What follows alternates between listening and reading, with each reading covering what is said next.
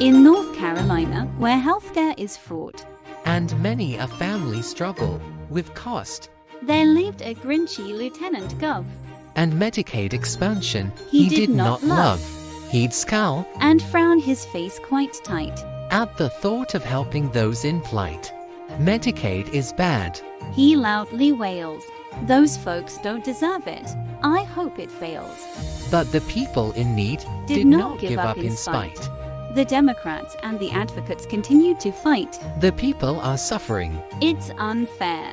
Everyone deserves the right to health care. And it came, Yes, it came. In spite of it all, Medicaid was expanded for the short and the tall. for old folks and young, for talents large and small. Healthcare is now available for all. Mark Robinson still scowls. A grumpy old Grinch. His heart didn't grow, Not, even an inch. On December the 1st, the people cheered. Oh, oh what, a lark! Our healthcare is saved. Thanks anyway, Mark.